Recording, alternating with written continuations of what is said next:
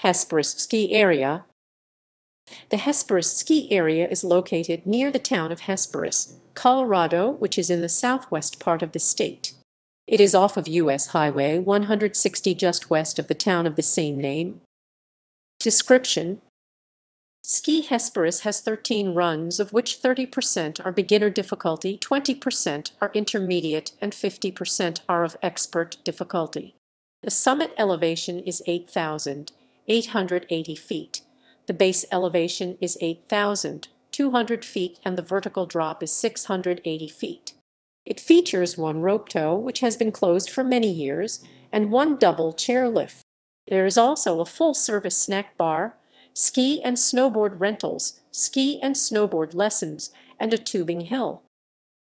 History Ski Hesperus opened in 1962.